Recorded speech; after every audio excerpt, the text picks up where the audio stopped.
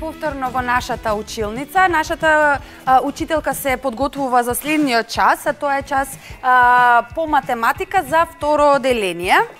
Учителке, повелете.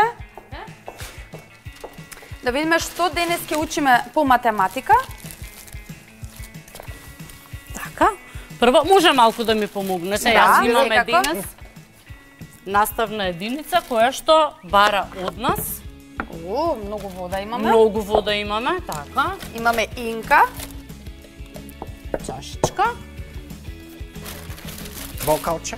бокалче и уште едно уште едно бокалче. поголемо бокалче. Така. Одлично. Значи, вториот час е предвиден за а, часот по математика за второ оделение. Така, не случајно а, стави во презентацијата слика со а, шише како си пуваме вода. Значи, нешто мислите што би се случило на часот што ќе работиме? Мислам дека ќе си пуваме вода. Ќе си пуваме вода. Ќе мериме, може би. Ќе мериме. мериме, може би, може би ќе проценуваме, ќе видиме сега, така? Денес ќе учиме за литар. Така. Вие минатиот пат работевте, меревте со лажички, така? Ви Да, да. беше исто интересно, сега ќе мериме со шишиња. Наставните цели за денес да користиме нестандардни мерки за да споредува и подредува зафатнина, користејќи стандардна единица литар. И наставните да умее да врши проценка на количината на течност, дали содржи помалку или повеќе вода од 1 литар. Пиеме вода? Секој ден. Секој ден. Што повеќе сакаме да пиеме вода или може би газирани сокови или никој Вода, јас сакам вода. вода. Јас сакам повеќе сокчиња да пијам, ама знам дека повеќе вода треба да пијам, па затоа повеќе вода пијам. Така? Не со големо задоволство, но, но со, со, А со знаење зошто за ја среќа. пиеме? Зошто ја пиеме? Бидејќи Зошто е многу здрава за нас. Многу е здрава, така Да. за организмот. Особено кога вежбаме, Особено кога вежбаме. трошиме, А, вода. трошиме енергија, Енергија, така и па треба добро да ја И треба да ја надополниме, пиејќи точно. вода. Така. Да. Од прилика колку чаши пиете вода Во денот? во денот? Па сигурно 6-7 чаши не. 6-7 чаши, добро. Јас би рекол 4-5. Ти би рекол 4-5. Така. Сега ние не знаеме точно колку е тоа во литри, меѓутоа затоа сме тука да измериме. Така? Литар е основна мерка единица за течност. А, се бележи со 1 Л. Се врати на назад. Ајде да го вратиме тоа на А, назад. веднаш ќе го вратиме. Ќе ми дозволите една секунда.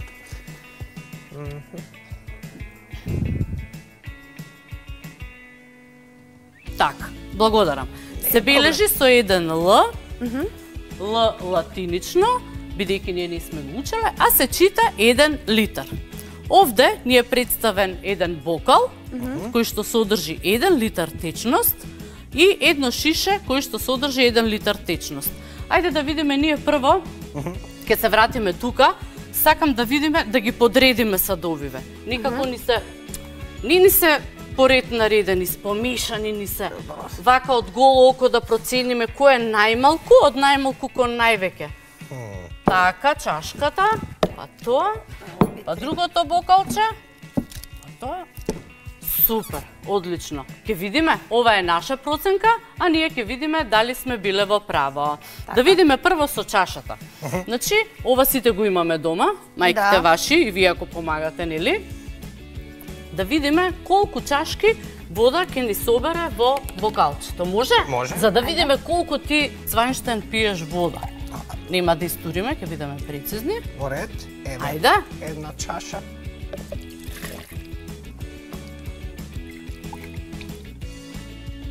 Добро. Две.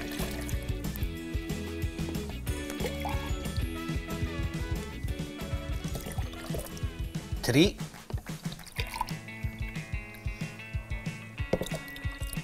Значи не беа многу полни, 4 чаши вода. Значи во 1 литар во бокалчето од 1 литар ни собра 4 чаши вода. Значи ти од прилика пиеш Пијам- еден литар вода. пијам Околу еден еден литар, литар да. вода. Додека Ана пие дупло. Нана и треба повеќе вода, затоа што таа повеќе вежби, повеќе троши, така? Точно, да, да. Незините активности се по а, пораздвижени, игра, трча, пее, а јас само правам експерименти, па затоа. Така, така. Добро, да видиме сега. Имаме уште малку активности. Аха. Треба да земеме два различни сада, со тоа што ќе го наполниме едниот со вода, а потоа содржината од тој сад ќе ја префрлиме во друг сад, за да видиме колкав е волуменот. Може. Значи ние ќе ги земеме, ова веќе знаеме колку ни содржи, така? Така, еден литар. Еден литар.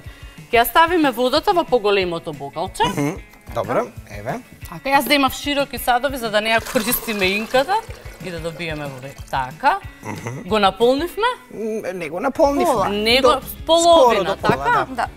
По наша проценка уште колку би ни требало Ана за да се наполни бокалчето? Па веројатно уште едно такво Уште бокалче едно, за да така. може да се наполни ова.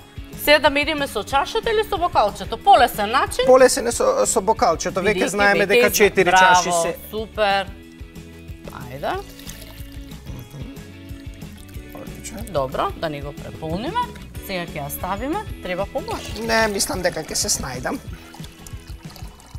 Оба. Значи до тука си има, на секој сад си има точно определено а, колку количество на течно содржи. Точно содржи 2 литра вода, така? Значи ние, дали можеме сега и оваа вода да ја ставиме тука? А, па не можеме А, не се наполни ова веќе. Значи секој сад си има точно определен волумен, така? Добро, супер. Што заклучуваме? Волуменот на еден сад ни кажува колку течност може да содржи садот. Садовите за мерење имаат точно определен волумен, што докажавме дека не можеме и останатиот дел од водата да го ставиме во бокалчето. Точно.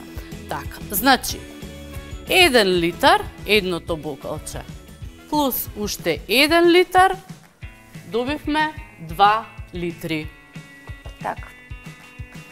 И сега имаме наредно, за да се наполни бокалчето од 2 литри со вода, потребно ни беа да се притурат две помали бокалчиња од по 1 литар.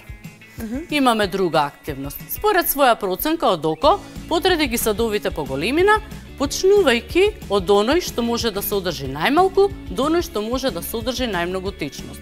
Ние тоа го направивме што со Да. нашите садови овде, а сега да видиме во презентацијата. Гледате таму? Да. Да. Еве ке Да. Имаме четири производи. Да. Едното бокалче веќе го покажавме и поголемото портокаловото. Имаме големо шише и ова што е? Па наликува на буре. Наликува на буре. Големо, така? Големо, големо. Да, би, би можело да ги собере течностите од Така делува од сите така други. делува, така. Хајде да видиме поред како ќе бидат. Значи проценуваме. Прво би бил овој сад, Добро. После? потоа би бил а, овој бокал, Добро. па потоа ова шише, веројатно Така. е пет, охо. Добро во ред, не е проблем и на крајот останува Така, бук, а, Останува бурето. бурето. Бурето. Ајде да видиме дали е така. Значи прво е малото Така. бокалче, па другиот поголем бокал, па шишето и што забележуваме? Ни фали бурето. Ни фали бурето, друго што забележуваме? забележуваме? Нека едното е поголемо од другото. Така, значи како А, се поголеми садовите, така И повеќе собираат. повеќе литри собира. Одлично. Така, еве го и бурето. Значи, еден литар собира малото бокалче. Две литри измеривме тоа бокалче. Ова е големо шише со вода 10 литри. И бурето собира 50 литри течност. Вау. Да. Ова е помало, инаку поголемите собираат и 100 и над 100. Забележуваме дека бројот на литри се зголемува. Така, сега да видиме денес, бидејќи учевме за литри, да ја повториме дефиницијата на кратко.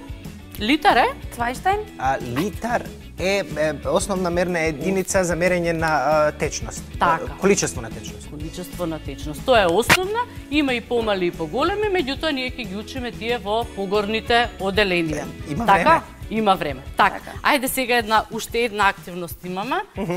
Значи хамер. Така. Имам сликички, јас пак овде многу одштампано. О, одлично. А наша задача ќе биде да им кажеме на а, учениците дали производот што ќе го одберете е помал од литар, околу литар или литар. Аха, добро. да се обидеме. Ќе се обиде. Ајде. Охо. Еве, извинете, учителке. Ништо вака ќе стојат, тука ќе си ги влечем. Така. А, ова е када. Корито, када.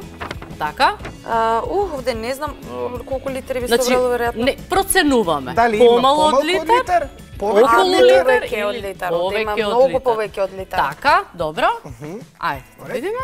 Ова, ова можем јас. Ова е ова е млеко или јогурт и тоа Млеко? млеко и тоа има 1 литар. Околу Точно. 1 литар.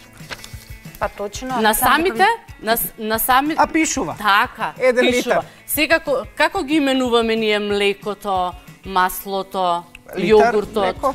Литар млеко. Се случува никош да слушнете кога одиме во продавница како вела дај ми едно кило млеко, едно кило зејтин, се случува и тоа, Се така? случува и тоа, да. Значи ги именуваме со литар. Ајде да видиме другите. Не може да кажеме кило или А, а, Течностите, Правилно е да кажавме, кажеме кило Така. или неправилно е да кажеме? Правилно, Неправилно е, кажавме така е. неколку пати дека течностите ги именуваме Значи, со еден литар. Еден литар. Така. Ова е чаша со кафе, значи сигурно има помалку од Помалку литар. од литар, супер. Одлично. Ова е бокал со со нешто Со нешто. во него. Со сок од портокал. Со сок од портокал, на пример, и а, овде има повеќе од литар, си велам. Па може би има Може би, точно еден може би и еден литар. Така, ајде да видиме и овие. Вау, овде е едно цело буре, така што ова е сигурно многу повеќе од литар. Така. Овде може да има 50, 70, 120 литри. Сокче од јаболко, тука сигурно нема еден литар, тука има малку. Помалку Тоа е мало, да. Имаме уште неколку сликички и сега ние треба да направиме проценка. Да, што мислите? Дали таа е 3 литри или 30 литри? Или ова шише може да собере 4 литри или 40 литри? А јас мислам дека може по, да собере 40 с 4 литри. 4. 4 Да, литри, јас така. исто мислам дека моето може да собере 30 литри. 30 литри. Видела така. како бурец. Таа е голема. И уште по една сликичка. Одлично. Тоа Ана кај тебе? О, види го каков е мал човекот во однос на бурето. Овде сигурно има 500 литри. Така. 100 литри кај мене прашањето, а има две прашања. 1 литар или 10 литри, 2 литри или 20 литри, 1 литар и 2 литри. Одлично, супер, супер. Така. Значи, научивме денеска да процениме, Така. да направиме споредба и да направиме и точна проценка. Научивме дека литар е основната Основна, мерка за мерење на количество и за на крај да кажеме на учениците за домашна работа во математиката број 2 на страна број 7 да си ги решат задачите кои што се многу слични на овие кои што ги работевме. Одлично ви благодарам. Ви благодарам и на вас. учителке. А нас ни доаѓа делот за голем одмор, што значи имаме околу 20 минути голем одмор, а потоа вратете се на а, ТВ училница. Се гледаме.